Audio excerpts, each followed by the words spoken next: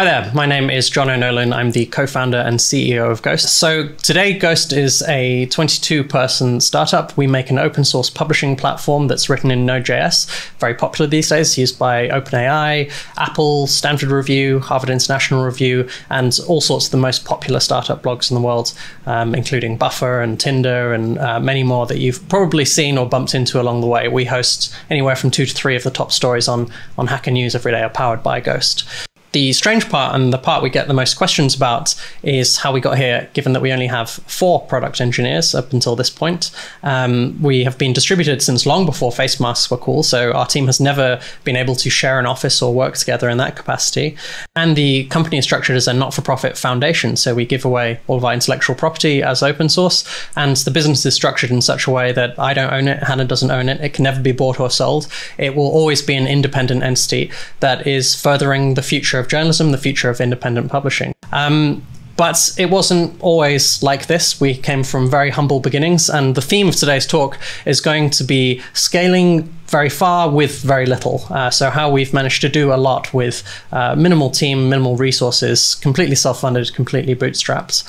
And so, there's three kind of points we're going to touch on throughout this. Uh, the first is the idea that focus allows you to ship faster and better code can come later and shipped code can make you money whilst you're figuring out what better code should look like and being really careful about which advice you listen to as you start building a product and scaling it uh, can be incredibly helpful to figuring out what the best path for you is ultimately going to be and to kind of touch on some of those points, I'm going to do that through the vector of three stories of uh, where those particular inflection points really showed over the years for us.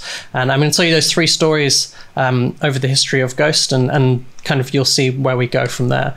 So the first one is is really just right from the very beginning of um, of Ghost in its history and, and when it got started. So I wrote a blog post originally, which was the idea for Ghost. Um, I'd been a contributor to WordPress prior to this, and I put together an idea of, uh, or sorry, a blog post of the idea of what I thought WordPress might look like if you reinvented it with modern open source technology and really focused in on uh, just publishing, not website building, not kind of uh, broad subset of um, flexible features, but really just the publishing workflow. And that did very well got hit the front page of Hacker News. Then later we turned it into a Kickstarter campaign. And in the Kickstarter campaign, um, we promised a number of things, or we kind of hypothesized what the platform would look like and talked about a number of features. And there was a lot of features uh, that were there originally, but there were three that really stood out in people's minds. We had this idea of an editor which supported Markdown in a split screen view. Um, we had this kind of email style way of managing uh, content. And then finally, we had this idea of a dashboard, and the dashboard would show you the analytics for your publication and um, you know how much traffic you got, how many Twitter followers, all that kind of stuff. And these three features really stuck out in people's minds because they were the three that were mocked up, that had UI mockups that went along with it. But as the Kickstarter campaign came to a close and we sat down and uh, started examining what we could realistically build within the time frame that we promised, which was about six months from the end of the Kickstarter campaign to the first release, we realized that uh, we couldn't build all of them. Uh, it was only me and Hannah. And we had a small group of open source contributors to help, but by and large, it was just me and Hannah building everything. Me doing the design in the front end, Hannah doing the heavy lifting on the back end. And we figured out that a publishing platform absolutely needs a way to manage content and write posts. It can't live without those two things. But conceivably, you can create a publishing platform without an analytics dashboard. And indeed, the analytics dashboard, um, even today, I'm not sure how we would have built it. In the video of the demo that we did in Kickstarter, it was a faked uh, mock-up. So it was just a series of divs with CSS transitions on page load. And uh, I did a screencast of just pressing refresh and they all loaded in. Half of them were screenshots. The other half were just um, very minimal HTML and CSS. So it was it was hacked together as a concept, and we figured out uh, there just wasn't going to be a way to realistically build it. Something that would have to talk to five or six different APIs, ingest data, store it properly, be able to scale to who knows how many uh, events and depending on what site it was, it was a technical challenge that was going to be insurmountable. So we made the very unpopular decision not to do it we figured that we could hit the goal of shipping uh, the platform that we'd promised with content management with an editor, but without an analytics dashboard. And when we launched, overall, the um, feedback that we got was very good and very positive, but there was a small but very vocal faction of people who criticized us heavily for having promised a dashboard but not delivered it. But what it really came down to was the choice between delivering um, a product at all or trying to deliver something that was technically unachievable. But we chose to ship. And shipping was the right decision because it allowed us to get the product out into the world. It allowed us to get real users and it allowed us to launch the business, which was a managed hosting service um, off the ground, which would start earning us revenue and fund the future development of Ghost, which was the, the whole plan from the get go, from the very beginning. Um, now today we're starting to have use cases for where a dashboard might be useful again. We have memberships we have subscriptions we have people making recurring revenue from their ghost publications. And we're getting to a point where a dashboard seems both both useful and like there's a way to do it um, that is actually feasible. Uh, but it's taken seven and a half years to get to that point. And along the way, we've managed to build a sustainable business that would actually be able to build a dashboard. But making that really difficult cut in the very first version of Ghost and destroying what was one of the most iconic features of the idea of Ghost in people's minds was a really difficult one at the time, but in hindsight proved to be exactly the right decision the next thing that we got the most criticism for after launch, and there was not a shortage of it, is how we structured the code base. Now, truth be told, in 2013, uh, Hannah was mainly a PHP developer who had just gotten pretty deep into JavaScript in the last couple of years, but not necessarily Node.js. And Node.js was pretty young. Like there was not a lot going on in the Node.js ecosystem in late 2012, early 2013. There was barely an RSS module. So we really uh, had kind of an uphill battle to to figure out how we were going to build this project, given that there were so few established um, architectures, processes, best practices that we could follow. Certainly not for other consumer products. You know, there was uh, a bunch of modules. Node.js at the time was micro modules. Things like LeftPad were about the best example of how you should structure uh, microservices using Node.js. And building something that was sort of equivalent to WordPress was the comparison that we had at the time was just not something that really existed in any way within that ecosystem. So we did a lot of making up as we went along. And even today, Ghost's architecture um, is as um, is built as a monolith. So we have all of our different modules um, built into one package, which is downloadable and installable. And the, the kind of core components are we have a REST API at the heart of Ghost, which has an ORM layer, so you can use either SQLite or MySQL. Typically, MySQL in production, SQLite locally, but you can take SQLite a surprisingly long way. Then we have an admin client, which is built in Ember.js, and we have a front end, uh, which is a Handlebars.js templating system that powers our themes. You can plug in storage adapters for file systems, but this entire thing is still today built as a monolith. Now, after seven and a half years, we're just starting to pull that apart now. But when we first launched in 2013, the overwhelming feedback we got was, you're doing it wrong. This is not how JavaScript is done. This is certainly not how Node.js is done. And uh, a lot of the more vocal medium posters of the world uh, were quick to tell us that we were amateurs who would never get anywhere or see any degree of success based on the approaches we were using. And you know what? To some extent, they were right. The approaches we were using were not correct, but the approaches we were using got us as far as we have with as few people as we have now. In 2013, there was no Lerna, there were no concept of monorepos, and the idea of building everything as a module would have meant managing hundreds, if not thousands, of repositories without any tooling to properly do so. And again, with only one CTO and me who could barely work Git in 2013. And let me tell you, I haven't come much further since then. So we had a few open source contributors, one lead developer, what's the fastest way we could make progress? And the answer was to build in the way that we knew how. And the way that we knew how was to structure as a monolith, to figure out where the edges of our application were. And we barely even knew what we were building. We were in the MVP stage of trying to figure out what the product was. And we needed to move pieces around as we kind of figured out the requirements and what bits were working and were not working. And a monorepo, uh, not a monorepo, a monolith fundamentally allows you to do that more quickly because you have less scaffolding going on around the edges. There's less touch points of where things have to connect.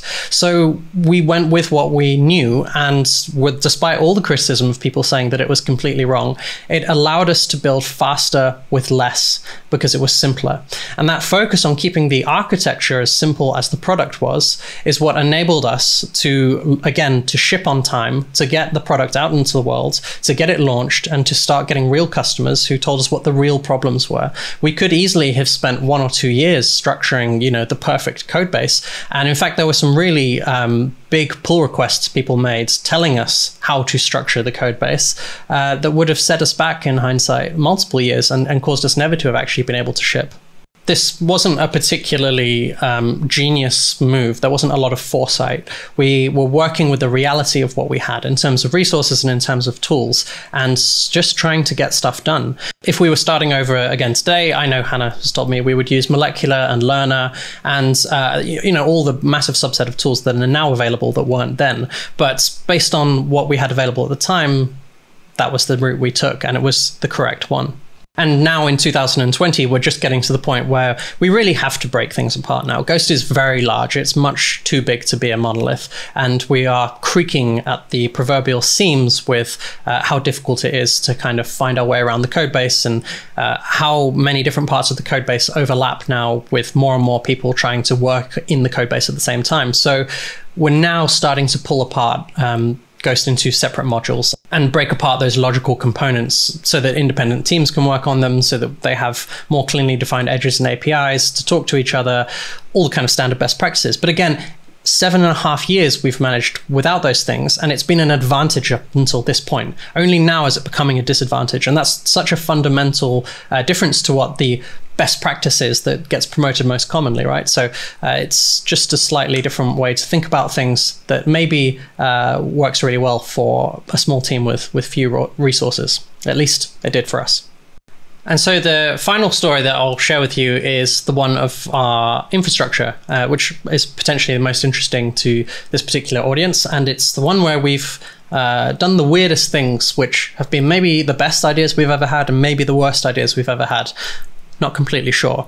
The traditional advice around scaling an app when it comes to infrastructure um, usually is try and be economical where you can, but broadly throw money at it and scale things and worry about um, making the economics work later. The final story that I'll share is one around our infrastructure, and it's the one we've done uh, the most weird, interesting things, uh, potentially the best ideas we've ever had, uh, potentially the worst ideas we've ever had. I'll leave it up to you to decide what you think. Um, so the traditional way of scaling infrastructure for most startups is to throw people and or money at the problem and worry about the economics later once there's product market fits. Uh, you know those problems theoretically solve themselves. We didn't have that luxury. We managed to raise $300000 on kickstarter in pre-ordered sales for hosting credit. And we knew that once that money ran out as a non-profit organization we could not raise any other money other than by doing more pre-sales which would obviously not have been possible. So we had to figure out a way to make the economics of what we had work uh, and quickly. And in infrastructure terms, RAM is really expensive. And in Node.js terms, RAM is really needed. So we had this uh, this difficulty of knowing that we needed to host 20,000 sites or so based on the demand that we were seeing from the Kickstarter, each one of those sites would be an independent Ghost site. So it's a decentralized environment. It's not a centralized um, multi tenant app, it's individual services for every single site. And each one of those would be an instance of Node, and Node has a minimum of 80 megabytes of RAM that it needs to even run. And Ghost, on top of that, was using you know a little bit more than that. So we quickly figured out that RAM was going to be the be all and end all of whether or not we could make a managed hosting service work um, at all. And the numbers just did not pan out. No matter which way we ran them, we couldn't figure out any way for us to afford to run Ghost and sell it to uh, people at a price point that they would be willing to pay, um, and then make any amount of money uh, that would allow us to keep working and keep going and uh, keep putting money back into the company. It just didn't pan out. Um, nothing about it made sense. So we came up with a bit of a workaround. Um, Ghost is a publishing platform. Publishing platforms create uh, static sites, usually for the most part. Uh, you publish a post, and once you publish the post, well, the site doesn't really change. There's not any dynamic functionality, and certainly back then, Ghost had absolutely no dynamic functionality of any kind. So we said, well, okay, what if we ran Node.js and we ran the app while people are writing posts, and then once they've published the post, we cache everything, um, but forever uh, we stick stuff in a cache server with no expiry, and then in the background we shut down the Node app. Okay, so now we go from being able to fit, you know, anywhere up to maybe hundred sites on one big app server to being able to fit about three thousand sites per app server. And for context, the uh, sort of loose architecture of of how uh, Ghost Pro, which is our hosting service, how that works today is we have an app server pool a database cluster, and then we have these two cache servers, or up until very recently, we had just two cache servers uh, sitting in front of the whole thing.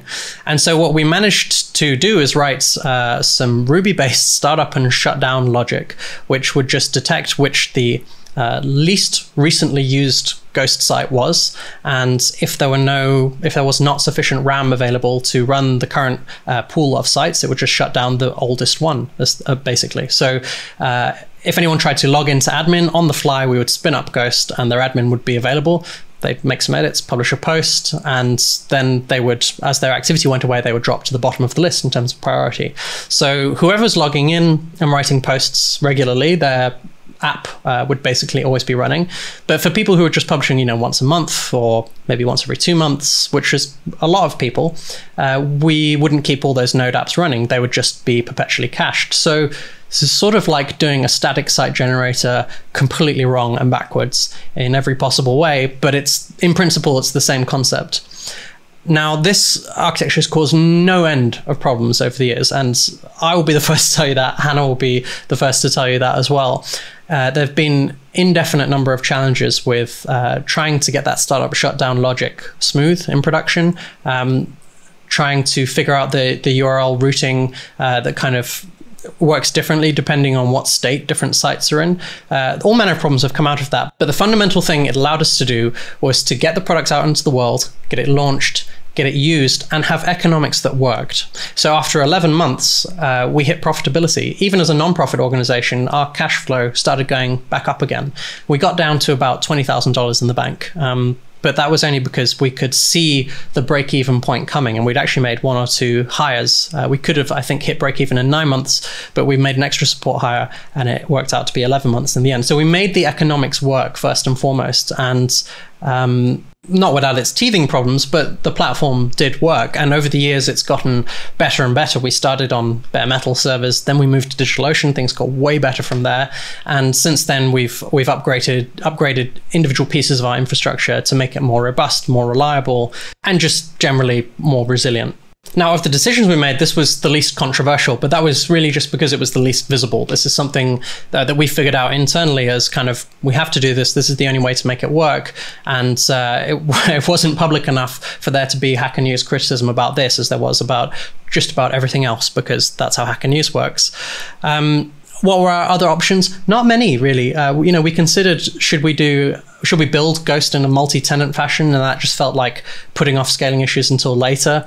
Um, should we do an internal multi-tenant version that we didn't have to do publicly? No, then we'd have to maintain two code bases, which again we only had one um, one product developer at that point. Um, so it was the best that we could come up with based on the resources and the reality that we had at the time, and it allowed us to get very very far. Again, with very, very little, which is the theme.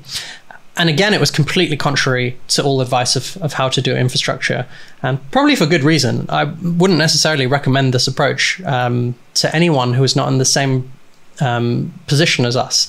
But the manner in which we got to the decision to choose that as the architecture to use is the salient point that I think is worth taking away is looking at what are the other options that you can use given the resources that you have that will get you as far as you need to go so that shipped code can make you money to sustain your operations to figure out what better code even means writing better code and then having no one use it, um, as we all know, is is fruitless.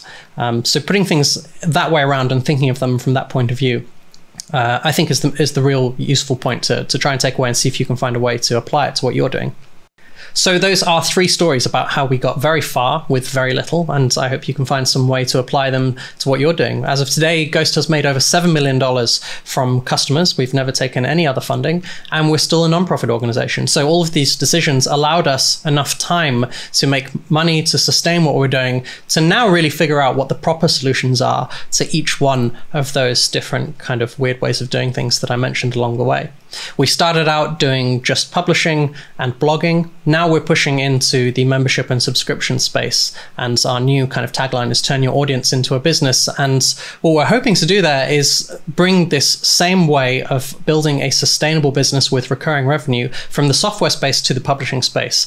I think we all know the state that journalism is in today, but also there's a lot of independent creators who are starting to do uh, fantastic things independently with, with very minimal resources, just like we did. And so Ghost now is an independent publishing platform with memberships and subscription revenue built in by default. So if you have ever thought about starting an independent media site or paid newsletter, perhaps, I would encourage you to head over to ghost.org and uh, check it out for yourself. Once again, uh, thanks for bearing with us despite Hannah not being here, and uh, big thank you to DigitalOcean for sponsoring us over the years. We certainly would not have gotten as far today without their incredible support and unbelievable platform, and we're so grateful to be able to use DigitalOcean's cloud uh, to run all of Ghost now and in the future. Thanks very much.